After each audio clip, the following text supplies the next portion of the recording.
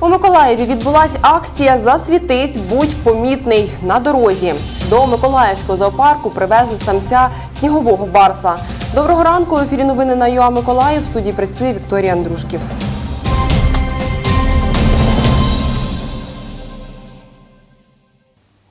Світловідбиваючі елементи, інформаційні плакати та танці на пішохідному переході. В рамках другого етапу всеукраїнського змагання хештег марафон Speak Up Ukraine школярі Миколаївської загальноосвітньої школи номер 56 організували акцію Засвітись, будь помітний на дорозі. Змагання організовані громадською організацією Traffic Challenge. На пішохідному переході біля зупинки громадського транспорту Янтарна збираються школярі, їх батьки, вчителі та патрульні поліцейські. 20 людей принесли з собою плакати з надписами, які розповідають про проблему безпеки на дорозі, а також трафарети та фарбу одягли світловідбиваючі жилети. Серед них дев'ятикласниця Софія Андрієва. Це дуже корисна акція, тому що ми звертаємо увагу водіїв, щоб вони помічали пішоходів, таких як ми. Ну і пішоходи теж повинні знати, що не треба йти в навушниках, треба мати зі собою флікери, щоб було їх видно на дорозі. У проведенні акції школярам допомагають патрульні поліцейські. Це всеукраїнське змагання дитячо-молодіжних команд, яке проводиться у чотири етапи і два з половиною місяці. Воно відбувається в рамках національної програми з попередження дитячо-юнацького травматизму. Це всеукраїнське змагання, яке покликано е, закликати водіїв та пішоходів бути обачними, бути е, чемними на дорозі, і водіїв, щоб вони пропускали пішоходів, пішоходи, щоб вони не вистрибували на проїжджу частину. Е, Все з метою залучення громадськості для того, щоб бути уважними на дорозі. Патрульні поліцейські зупиняють рух автомобілів. Розпочинається акція.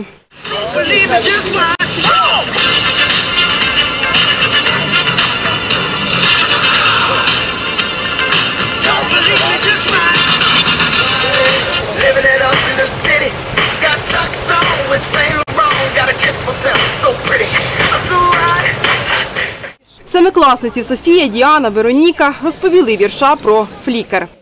Флікер це такий яскравий знак, кріпиться на одяг, на взуття чи то рюкзак. В темну пору допоможе вам уникнути біди. Одягни його в дорогу, буде з ним помітним ти. Засвітись, стань помітним на дорозі. В рамках акції діти разом з патрульними через трафарет наносять на дорогу надписи Дивись на дорогу, а не в телефон. Зніми навушники тощо.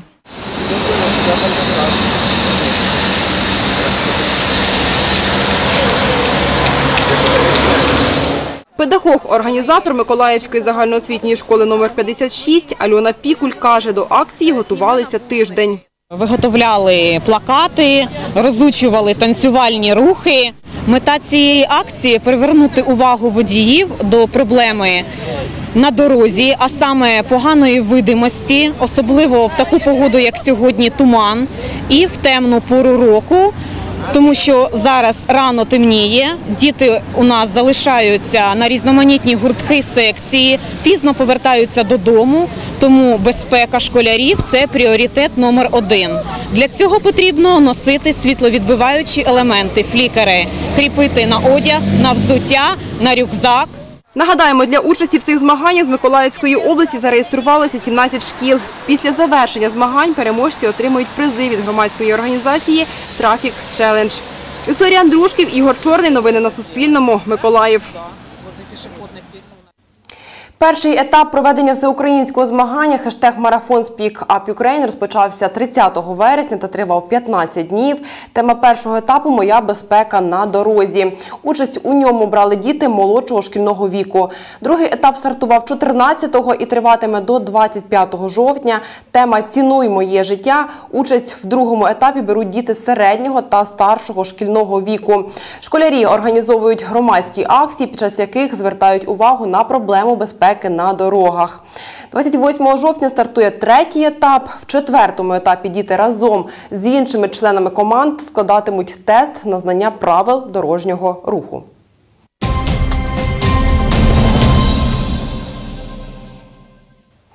Миколаївський зоопарк поповнився самцем снігового барса на ім'я Тіксі. Тварині два роки.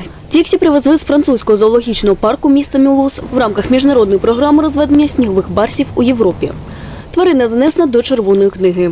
Еды бывает недостаточно. и Їжі буває замало, і тварини через це не щороку розмножуються. Полювання на них в деяких країнах не заборонене.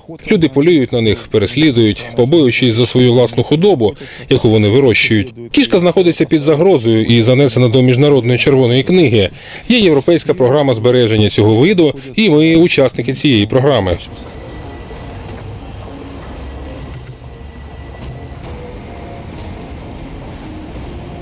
Тіксі до людей поки що не виходить, ховається. Після п'ятиденного привезення тварина перебуває у стресовому стані. Карантинний період триватиме для нього один місяць.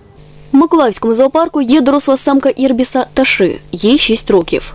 Співробітники зоопарку сподіваються на створення сніговими барсами потомства. Тварин тримають в окремих вольєрах.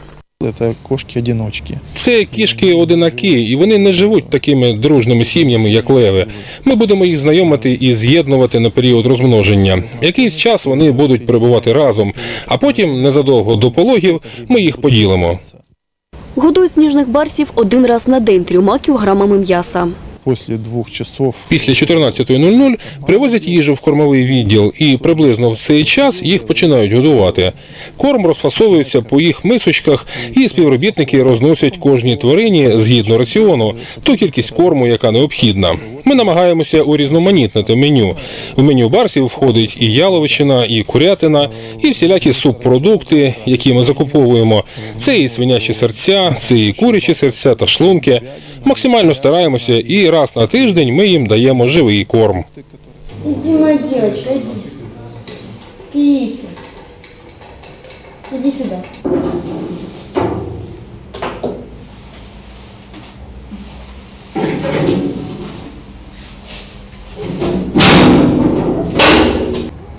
Попереду у період адаптації. За словами Юрія Кириченка, Барс вже вивчає місцевість, мітить територію та звикає до персоналу. Світлана Кльосова, Сергій Коропятник. Новини на Суспільному. Миколаїв. Ще півгодини в ефірі телеканалу ЮА Миколаїв триватиме ранкове шоу Новий день. Я передаю слово своїм колегам Тетяні Макушеві та Олені Клепі. Вони продовжать. Ми з вами зустрінемося у цій студії о 13.30. Гарного вам дня!